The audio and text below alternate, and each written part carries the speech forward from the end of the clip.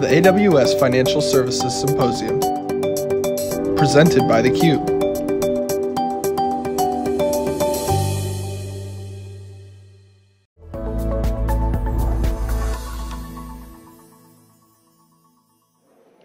Welcome back, everyone, to theCUBE's coverage here in New York City. I'm John Furrier, your host of theCUBE. Mm. We are here at AWS's Financial Services Symposium. All the big banks here, all the ecosystem, all the big players are here. David the General Manager, of Financial Services Industry at Genesys. David, thanks for coming on theCUBE. It's Appreciate a pleasure, it. thank you for having me. So very targeted event here in New York City. Obviously it's Tech Week yep. in general, all the VCs are here, all startups, but also there's a lot of technology conversation here yes. at the Financial Services Symposium. It's all the big banks, it's all the big insurance, it's, every, it's all yep. the players. Correct. And they are really have to set the table for the next 20 years of their innovation cycle. Yep. Generative AI is pointed a wave. They see it coming. Yep. But they're banks.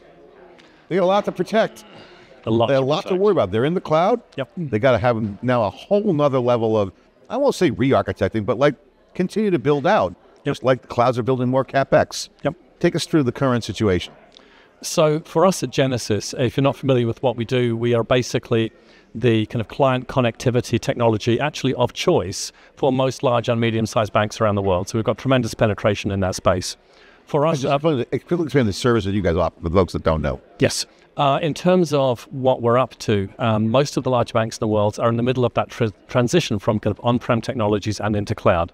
And we are probably one third of the way through that journey. Um, the commitments are now very clear, but just in terms of the actual yeah. doing, it takes time. As you know, and you mentioned in your setup, for most banks to do something, whatever that something is, unless it's an immediate must do, things take two and a half to three years to get done, yeah. just based on size, scale, regulation, approval, QA, just takes time. They're big, they're huge, a lot yep. going on. Yeah.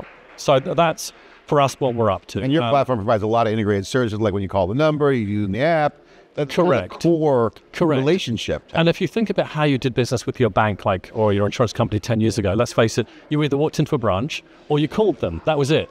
uh, and you still do that, but of course you use in-app messaging, you're using chat, you're using social media, you're using all of these different devices, um, uh, platforms, media vehicles. And for us, we have to be on top of that and offer and integrate all of them together. Um, so it's a tremendous, actually, it's a tremendous time to be in that business. Mm. So let's get into some of the, the, the hot conversations because obviously there's a, a, platform shift happening, and again, the cadence of transformation yep. is subject to the environment you're in. And yeah, it's a long time, but they they try to move as fast as they can. They get they yep. get systematic approach. Correct. But the, now we have the conversational AI kind of vibe hit in. Yeah, everyone chatbot, can I help you? Can questions, knowledge mm-hmm. bank. You get an answer. People always ask this question, have an answer yep. ready. Now that's moving to generative. Correct. Where they can do more agent technology, not just chatbots. Yep. It's a lot more deeper experience yep. to the customers. How is that changing your business, and what do you guys? How do you look at that, and how do you bring that fast to the customer? Sure. I think there are two or three things going on here. One is imagine like your chatbot experience with a bank five years ago. Like, I want a new credit card. And what would happen? Great. And there would be a link to their credit card, find me a credit card site. That's what they would do for you. It was right pretty awful as an experience much, much better now. Like it's an incredible experience in terms of what you can get done with a chatbot or a voice bot uh, real time. For us, that has been important. But as you see, in terms of generative AI capabilities, there are some bets now being made in terms of how that capability will apply, first of all, to employees within banks to keep them safer, to keep the bank safer and clients safer. But then the longer term bet is like virtual assistants, that next generation in terms of how they'll operate. Yeah. And in terms of those capabilities, for us, it means we need to think of both, let me put it this way AI and apps and actual people, I think, are the ingredients for the future of client experiences within banks. You're going to need all three. So for us, mer- merging together those three ingredients together in a nice seamless package is our way forward. Explain why that's important and, and, and why that's. Oh, sure. Um, so let's start with apps, for example. Yeah.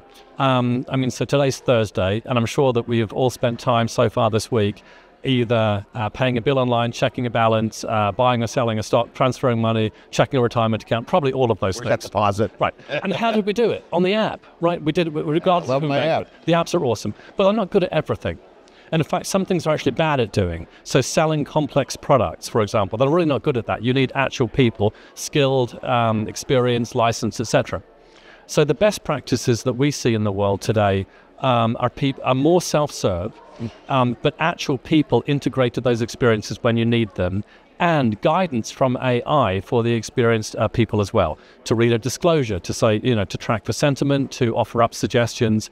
Um, it just makes for a better, smoother experience. So we think that's the direction forward. All right, so give, give me the, the top three re- areas that AI is reshaping the customer experience. Obviously, app led, but apps now are getting generous, so they're getting fused. So they, I get that. It's a workload. Yep. Any new things that you So, see so emerging? honestly, I, I would classify these things into three three areas, Okay. if that's okay. So here's here's here's my three. One is somewhat conceptual, and the conceptual is here's all the great things that generative AI might be able to do, but it's conceptual. The actual use of AI today, in that it's not it's it's not brand new. It's been around for a little while, and at Genesys we have actual capabilities like predictive routing will tell you where we think a first client contact should be sent. Predictive engagement will say this is why we think a client is calling. Agent assist hums in the background and like assists in conversation. So tho- that actual uh, capability is very real as well. Then the final piece, though, I would say is kind of like worries, headlines, and concerns. And the worries, headlines, and concerns, whether they're ethical, philosophical, data, security, fraud, protection, deep fake voice, um, all of these things are super important. So I think those three areas are where there's like attention. What what is the um, view of obviously fraud detection? It's been one of those things that's constantly. I mean, it's always it's like the debt; it never goes down; it goes up. It seems to go up. Correct. al- Always. Yeah, it's like prevent, and now you got more surface area. You mentioned generative AI, more attack vectors, people, More vehicles and tools for fraudsters. Yep. so many Yep. areas. So, Yep. how are you seeing that? We've heard some great conversation here at the show around how pattern recognition, how some of the indexing of the content could give you better uh, augmentation to prediction uh, on gen- generative prevention. Yep. Yep. um, where do you see the protection coming from, uh, or any improvements for the good guys? Sure. Well, Remember, the bad guys, all it takes is one time. Correct. And, and as you know, for a bank, I mean, uh, fraud, data breaches, etc. I I just you just can't have them. I mean, it, it's just a non-negotiable. And frankly, from a uh, a Genesys standpoint, if you started any conversation with a bank and your lead-in was fraud and security, you'd be okay. It, it, it's- it's a fine conversational area to start with. For us, uh, there are a couple of areas. One, our Genesys Cloud offering is built on and in AWS Cloud. So for us, the kind of finest examples of data security, kind of protocols, QA, all exist within those environments, and we replicate them. The second thing is you've got to partner with the right experts in this space. So for us, our capabilities kind of live alongside what you would get from like a Nuance or from a Pindrop. So we're super um, aligned with what they do, how it integrates into our technology. So we're going to bring the best of what we do and kind of integrations and go to markets collaboratively with those experts. And you got to make sure they're all vetted, everything's kind of- Correct. all kind of tightened up there. Yes. Is there an extension of you? You partner? Correct. Yeah, and oftentimes we'll like paper something where it's like our you know contract plus you know a Pindrop solution added in together. So yeah, we are very tightly integrated. Well, I got to tell you, one of the things I really like about the new banking apps now is, is that the user experience is 10 times better Much better than it was just a few years ago. Yes. Even I have multiple banks that I use, and, and other multiple, I think I use five different banks. I'm weird with the banks, Mm-hmm. but I, but they all have different apps. But I'm kind of getting it now. They're all kind of seeing the same. But your point, you're right. There's some areas where I would like to get some help. Yep. So agent technology, we love the direction of where agents technology is Yes. going. We think Yep. that's going to be great augmentation to humans. Yep. Um, because once they figure out what I'm deficient in, they can Yep. actually replicate that. Yes.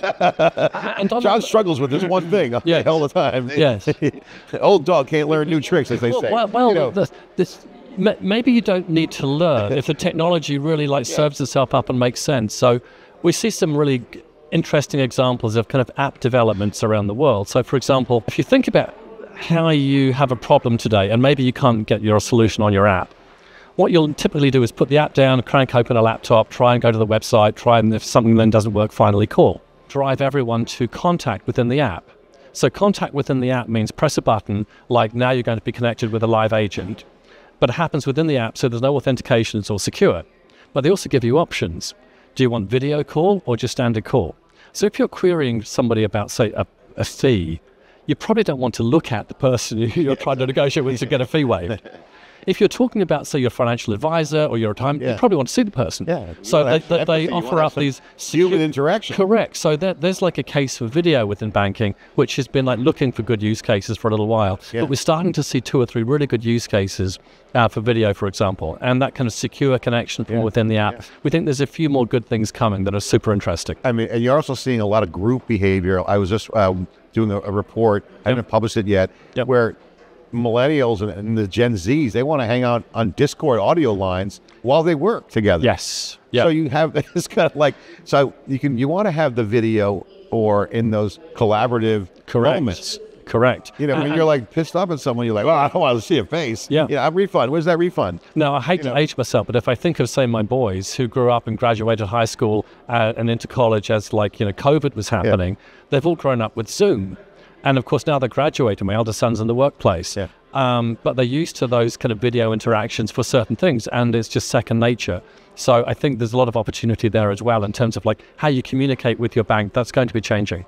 Talk about the um, heavy lifting involved in the banking area, and I want to I bring up that because Amazon's known for like oh under undifferentiated heavy lifting, but I noticed that one area that's not innovative in my banking app, I won't say the name, I don't want to name names, it's one of the apps, Yes. is how they handle the documents, the statements, the PDFs. With multimodal AI coming, I can imagine there's going to be now more energy around handling all the back office um, toil. Yep. What's your view on how Genesys is looking at document management, text Oh, sure. analytics? So- that's unstructured data coming in now with images. Sure. So let me give you an example. I- Yeah. I think you like this. Back to my kind of bank app example. So I mentioned we have like our predictive engagement software, which is AI based, that says this is why we think you're calling. So in this like example, and it's real, um, production technology with banks around the world right now is you're in the app, secure call. I've got a question. I want to. Well, the AI will think we think you want to change your address. So while you're kind of waiting to be connected to a live person, the AI then pops up to you on your app. Here's the address change form. Fill it out. Do you still want to continue with this call? And of course, in most cases, the answer is, well, I actually want to speak to someone at the bank. Great, you gave me the form. Awesome. Click, click, away I go. Done. Um, so putting that kind of forms hell into kind of real life flows and use cases, I think is going to take away some of that pain. It'll take some time, but the technology and the use cases are there right now, if that example works. That's a great example. Um, first of all, I, David, I really appreciate this conversation. It's fantastic. It's real world. It's not, you know, hyped up AI kind of conversations, which Yep. there's many of them. Of course, we promote a lot of those hyped up conversations because it's this this wave is coming, no doubt Oh, about oh, it. sure, It's sure. a platform shift. Yep. It's Yes. definitely happening. Yes. So orchestrating experiences, these are very, Correct. very important things. Yes. What's going on at the show? Because what you're getting at here, kind of like not to riff in real time here, but I will. Hmm. You're starting to see the vertical nature of things, end-to-end workflows. You just mentioned that secure call in the app. Yep. That's a cool concept. That's hey, well, just keep it secure in line, Yep. end to end. Why not? Why even go through the internet? It's just a direct connection. and uh, and back to kind of cultural changes. So what I just mentioned, secure call in app. So the bank I reference, I won't say their name again. Ninety-two percent of their contacts now are coming via that secure contact within the app. So there's like a little bit of consumer kind of like, hey, this capability is now available. A little bit of adoption like prompting, but it's going to be very real. I think that's how we're going to be contacting and connecting with the banks over the next two years. Like it's happening real time. I think that's a moat opportunity for a bank. If you can say, hey, if security is a concern, Yep. let's just address it off right off the out of the, out of the gate. Correct. Yep. Direct connections, maybe encryption, unbreakable encryption, pre-quantum, maybe post-quantum. It look different, Yep. but again, that's a use case, and we start to see this verticalization Correct. in the cloud. You look at some of these AI systems that are being Yep. built. Agreed. They know the workload is well scoped. Yep. It just has more data and more stuff to do. Agreed. Agreed. All right. So what's happening here? So you agree on that. that's a good thing. Yeah. That's a good data point. We'll take that back into the Cube research team. What's going on here at the event? Because this event is very targeted. We're talking the biggest names are here. We're in New York City. Yep. We're talking about J.P. Morgan. We're talking about all the top players are here. Yep. Uh, I saw the president of Bloomberg's here. They're talking about how they're handling stuff. It's AI, machine learning, old school, old school. A couple of years ago, Yep. AI now setting the table for next gen Yep. with now cloud migration continuing Yes. for full distributed computing operations. What's Yep. the top conversations in these banks in this, this in this ecosystem? Well, you know, one of the things we mentioned already is security, fraud protections, etc. The other is taking conceptual ideas, notions, capabilities, and turning them into real life use cases. And um, we see a lot of that happening here today as people talk and compare notes. And I think there's going to be a whole bunch more of that happening uh, over the next uh, few weeks and months. Of course, what people also want, they don't necessarily want proof of concept. People want to see proof of adoption. Yeah. And so when they talk to me, and for me it's a global role, show me things that are happening elsewhere. Yeah. And you mentioned JP Morgan Chase. They don't want to mystery shop like what Bank of America are doing. They know what each other are doing. Yeah, yeah. It's like They're all talking. Right, go to Israel, go to Turkey, go to New Zealand, Sweden. Then you're going to find some crazy things that are being done Yeah. in the banking space that are just unusual, um, that could be adopted at scale in North America. All right, throw me out an, uh, an, an experience uh, that's being orchestrated through your platform that's super cool that we haven't heard about yet, or your favorite coolest experience, oh, um, or a few of them. Throw All them right, out so, so, so here's, here's a cool one, and this is happening in the Middle East right now. So think of a company like NCR, who like make ATM machines, right? Um, so for us at Genesys, that kind of end point, which is an ATM machine, is just something we can plug into our capabilities. So what we have now with this next generation of technology, though, is no debit card or anything else. Like you just wander up to the ATM machine, flash your, give it a high five, and it recognizes recognizes your uh, palm print you can then say to yourself, well, I want to actually talk to a banker real time. And there you are at the ATM machine, talk, press the button, there's the banker flashing up on screen. And you can say to the banker, look, I need $20,000 cash right now, override the daily withdrawal limits, and out pops $20,000 cash so you can go off and pay your school fees or whatever else it is. So, real life technology, um, kind of like connectivity, AI, service modes that are kind of new and interesting, but in place today. I had someone on the cube once say, "This is over ten years ago. Everything in the future that was on Star Trek will be invented, except for teleportation. Uh, but pretty much, we're everything's pretty much very sci-fi like from just twenty years ago. from just 20 years ago. I totally agree. I mean, you, couldn't believe the way that we live our lives via our banking apps today. It's, it's like life-changing technologies. All right. So, final question for you. Yep. I mean, great conversation.